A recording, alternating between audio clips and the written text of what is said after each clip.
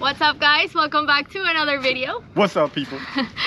and so today we're gonna do a little bit of a follow-up of the situation that happened with our lithium battery. We're Alejo and Andrea, and we've been living on our off-grid sailboat for the past two years.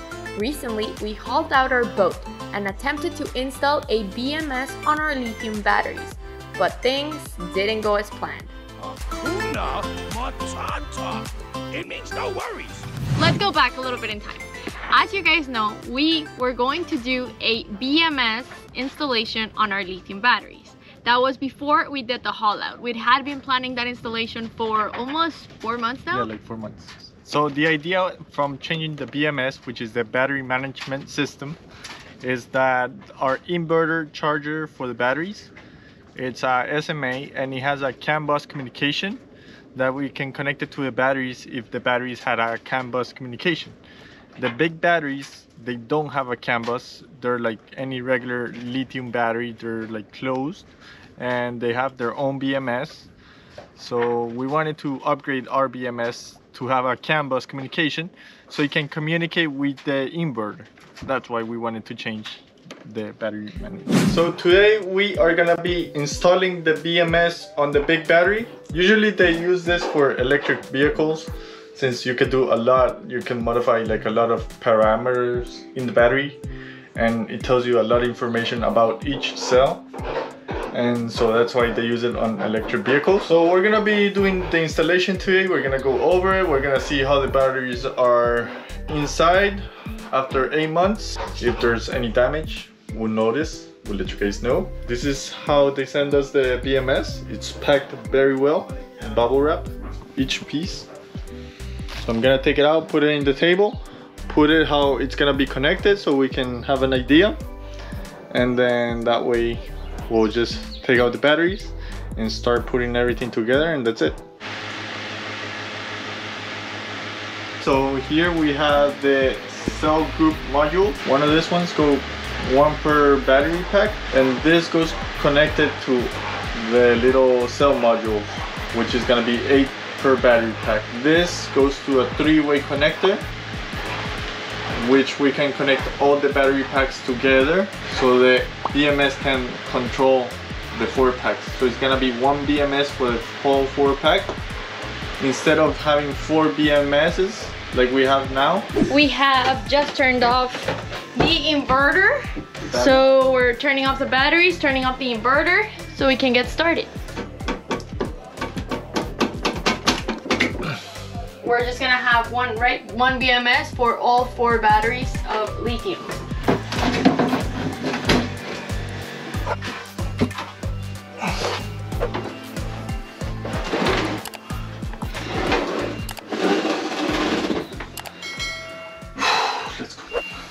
Two more, baby. Two more. Let's do this. Six and a half hours later. So we're good. We have all four batteries out of the hole. This is where they're set up. And so now we're ready to do the installation of the BMS system. Okay guys, so we're gonna start by taking apart the battery, the first battery. This is going to be test number one. That's number one. and then we'll do rinse and repeat on three, three two, more. two, three, and four. So here you can see the BMS. Okay. That's originally from Big Battery. And here's the fuse. It's a 300 amp fuse inside this guy, which is pretty good. The BMS that it has, it's a really good BMS. It has temperature cutoff sensors. It's it's a good, but it's simple, right?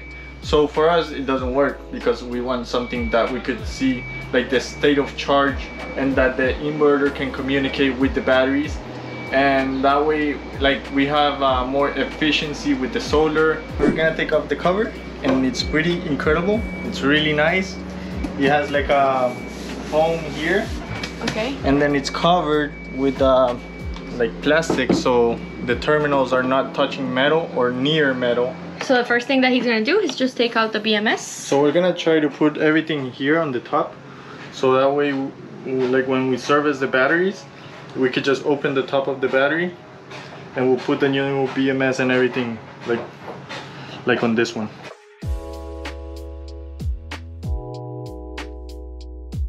you're using tools for the batteries that don't have isolation like this one, right? You don't want to touch the positive and negative of the same cell because you'll damage the battery, the cell, or even the BMS. So yeah, very important to keep that in mind.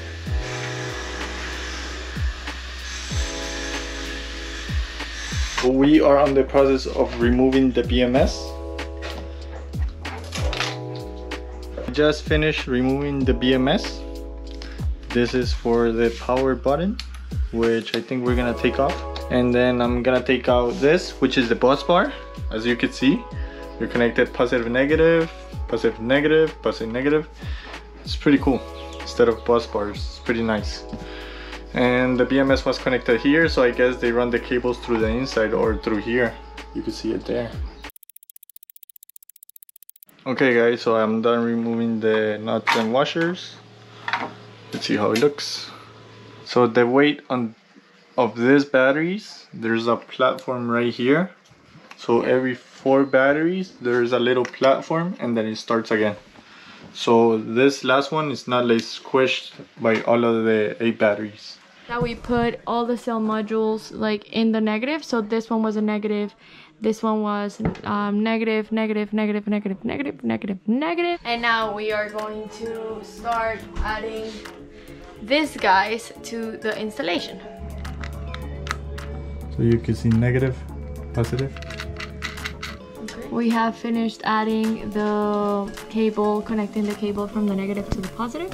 Okay. So what these things do is that they also balance the cells. So if this one pack, there's one cell that's like, uh, I don't know, like 3.1 volts and all of them are 3.2. So they stop charging like the other ones and they just put energy into that cell. Or if one cell is too high, then this can discharge that cell a little bit so everything matches. If you guys have been following us for a while, you know that before this bag batteries, we actually had LG Chem lithium batteries and we had to change them for the big batteries because one day we just woke up and nothing was working. We had no electricity on the boat and the reason was because one of the cells was actually unbalanced.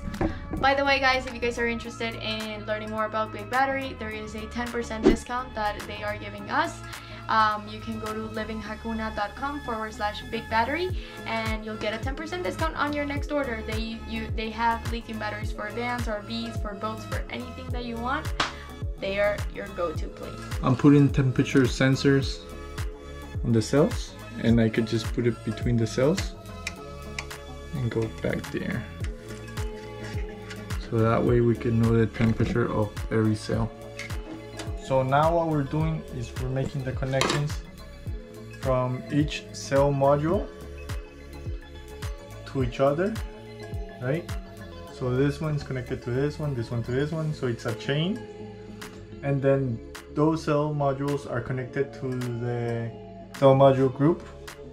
And so how it's connected to that one, to the cell module group, is the first one and the last one it's connected to a cell module group, which you can see up there.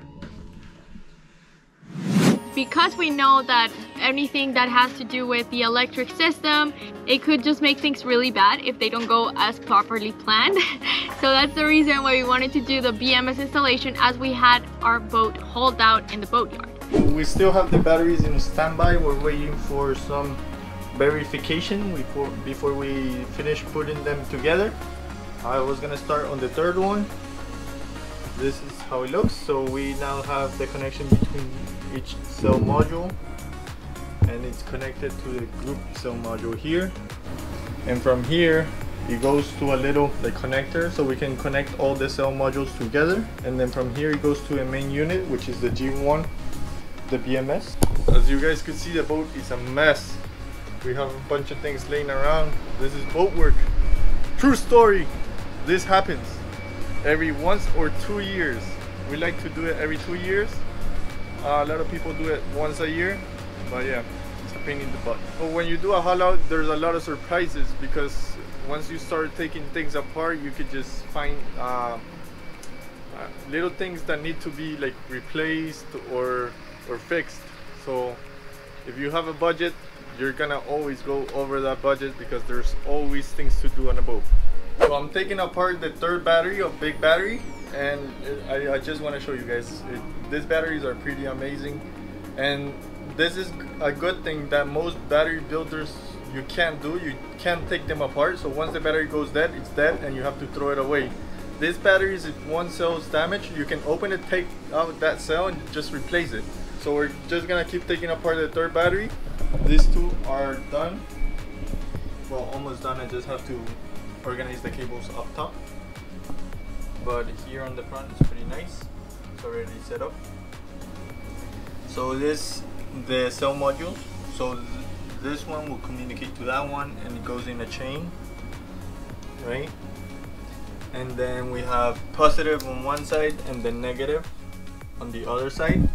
They come the negative comes through a fuse and they're connected to this Anderson connector and that's how we connect them to the boat. But we have the four batteries. They're already with the cell modules they have the cable to the cell module group which is this one All right.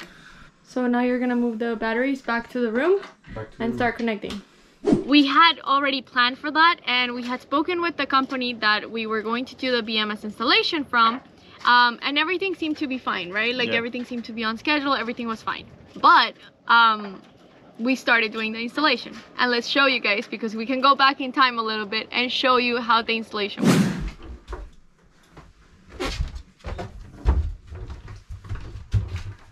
How do you feel about this installation? Jesus. It's hard. I thought it was gonna be easier. But currently it has been hard. So we have spent over what, like today the entire day? Yesterday?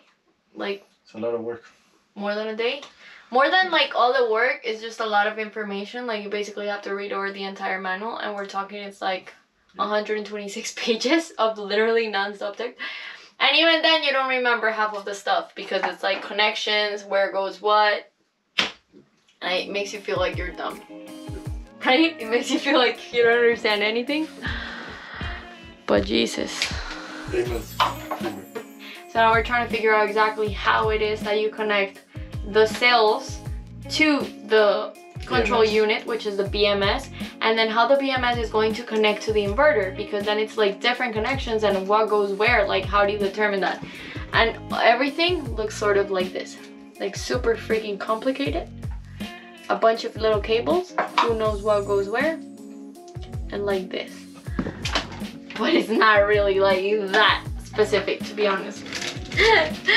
I think this is like a setup for like an electrical engineer or like someone who has had like 20 years of education.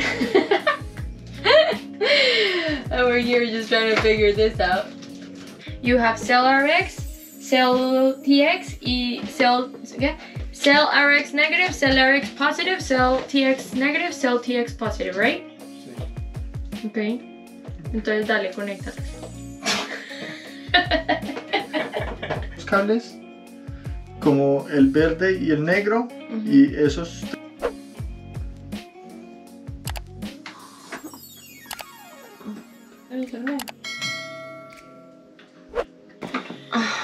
How are we doing, baby?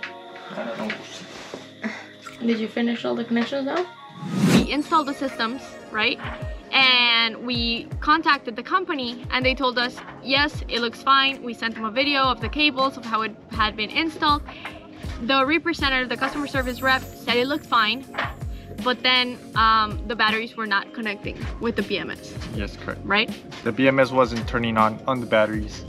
Like it had no power and the cells weren't communicating between each other. So then we had to go back to the company and say, hey, it's not working. What is going on? And so we were on a, doing a Google Meet, like a Zoom meeting with them over the computer to try to figure out what we had done wrong. As you guys know, the past couple of days we've had a really hard time doing the installation of the BMS on the batteries. But today we had a two hour call about the installation of the batteries and we had actually installed the cables wrong. What you want to do if you guys decide to buy a BMS is just jump on a call with them. Unfortunately, Make sure you understand the system first. Yeah. Read the manual. The manual it has a lot of information, but it's not complete. Yeah, it's it's like a overall manual. So they have. I mean, this system you could configure in a lot of like battery packs, and it has a lot of like components. So that's like an overall manual, but it's not like a specific manual for your installation. Hi, good. I'm here. Nice to meet you. Nice to meet you. Glad to help you. We, we want that your system is running. And I will just initiate the discovery and you can just look to see if they blink or not. So now I start. We were basing our installation on the manual.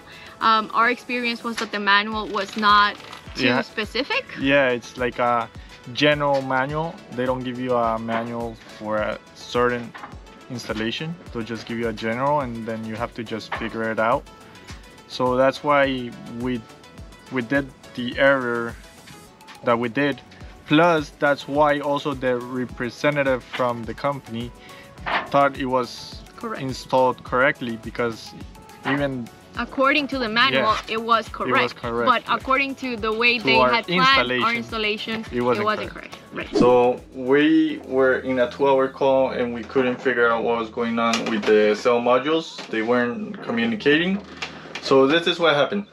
So this little computer communicates to each cell module. So it has two cables coming out, the top and bottom. This one which has negative and then the communication cable to the cell module it has to be connected to the most negative. What the most negative means is the cell that connects to a negative, and the most positive is the one that connects to the most positive. So we had it like the other way. So we just switched that on the four packs, and they're working. I don't know if you could see a little light blinking. We also had the the from the three way to the G1 unit. We had it wrong. So, just to do a quick recap on the installation. So, we have the cell modules, they communicate with each other, and then they go to the group cell module communication, which is this one. And from that one, each battery, you could see each battery comes out, and we have them coming into a three way communication. So this is the last battery, then that one communicates to this one, and then it communicates to this one, to this one, to this one. And the last one, so we have five because all the batteries communicate to this one, and the inverter is connected to this one. And from here, we go into a G, G unit, G1 unit, which is the BMS. We have all the power supply. Mm, I need to clean up all the cables. Once we get it going, I'm gonna start cleaning it up, putting it nice and pretty. And yeah, that's it. How do you feel? We're gonna give it a test run. finally- yeah, we're gonna give it a test run. Finally turn on the boat. It's been five days with no right. Five days since we Yeah, like four days. four days since we started doing the installation. So we've had no energy. A lot of our food went bad, so that was that Yeah. really sucked. But Let's do it. finally getting it is working. So we're gonna finish putting the covers on all the cell modules and then we're going to just put them where they belong.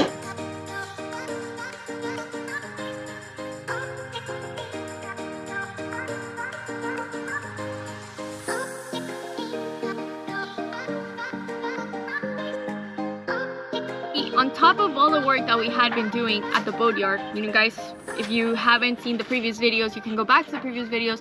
We had to do the bottom paint, we had to do the engine services, the servicing of the engines, we had to do like polishing, we had to do, oh my god, a bunch of things that don't even come to like point here, but it was a lot of things to, on top of that, be worried about the installation, right? So mind you, at this point we already had zero electricity on the boat. As you guys know, we had to like cook, take out our camping stove because we ended up like cooking on the camping stove. For that entire week, we did not have any and Electricity. electricity on the boat, right? Then we started having this Google meetings and this Daily calls daily with calls company. with the company, like two hours, three hours daily calls. We were trying to schedule our time to match their time in in in Europe and so it was a little like complicated but we managed to make it happen. So we went through like the entire installation and then it was fine. Like the batteries were working the, eh, the BMS was working. Everything was. everything was working fine. We are happy to get our boat back in the water and go sailing again and exploring. Woo! we're in the water! Yes. Look at these engines how smooth they are. We are moving fast, we're moving furious. We are flying with these engines. So they put us back in the water. Everything seems to be working fine. We had just done this 10 days of massive, exhausting work. and we had spent a ton of money, which we're gonna tell you guys about in another video. So anyway, make sure to subscribe and hit the bell so you can be notified on that future video about the cost of the haul out. But after doing all that work, we get back in the water and we have no electricity. We did have electricity. Our batteries were working, but um, the BMS was, I don't know, like the running time on the main unit wasn't working. And then the charge setting on the BMS, it didn't want to change. So the guys from, from this company, they tried to change it. Um, then they told us that they needed two weeks to make it work because this installation wasn't just like install it and that's it apparently they didn't tell us that from the beginning that they needed two weeks to make it work. Right. and so i mean for us uh, that didn't work out. And on And- top of that the generator blew a capacitor.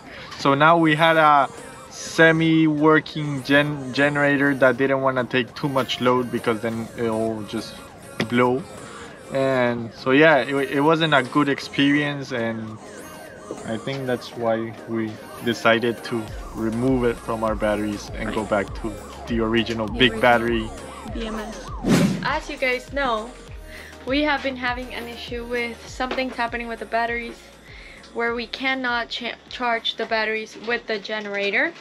Uh, so since we have been running the air conditioning units day and night because it is so so so hot right now in Grenada, we need to charge the batteries, right? But we can't because when we try to turn on the generator it shuts down by itself says like it all the the voltage goes up to like 250 volts and it says like to reduce the load. So we have tried turning on the generator with no loads just disconnecting it completely. It's still not working. Wait, Alejo is trying to fix it. So far we have found that the charger that goes from 220 to 12 volts was messed up was broken Yeah, the connection wasn't good because the guys that installed the the davits, the reinforcements, they broke the connection. So Yeah. we broke that. Well, we found that. Plus, I think the breaker from the solar to the inverter, it's bad. So that's why we're getting an over voltage. the impeller of the generator which is right there it was like in pieces like in a million pieces. So so there wasn't any water coming out of the boat and that's how we thought that there was something wrong with the impeller. Alejo just removed the impeller. The pieces left of the impeller which one of the pieces went through one of the hoses. And yeah we're trying to fix that. So not what you want to do. So this is test number 135 of testing the generator and seeing if it's going to connect. Just overall, it was a stressful couple of weeks because that meant that we couldn't have any air conditioner a couple of days, like we didn't have AC to run. Um, mind you, here in Grenada, like in summer, it gets hot Really hot. hot hot hot so for us it was super important for the dogs like we it was just painful seeing them like all the time like exhausted for us like we were just sweating like there was a reason why we installed the AC we want to run that thing when it's hot and so that was the situation so we ended up changing it back to the old BMS right if we could go back in time, would would we try to do it again? I think my answer will be no. If it's working, if it's working fine, leave it just leave it and don't mess with it. Don't try to make it better. Just leave it working until it breaks. the electric system is just super complex it's it's very like I don't know, it's just such a complex system and like unless you know exactly like every little, you know, like the, the specifications of the BMS, the specifications of the battery, like you know every little item, it just can mess up everything. And for us, like maybe for someone else that they just live in a marina where they don't rely on their on their battery system, it's okay to like make changes and risk having some time without electricity. For us, we live off grid. We rely on our batteries just for our daily, everyday life. Like They didn't say that it like the installation will take two weeks. We didn't think it. I'm- I mean, it's a BMS. A BMS, you just connect it and make it work and put mm-hmm. the par- parameters, and it should work. They shouldn't be just like testing things out and see what works and see what doesn't.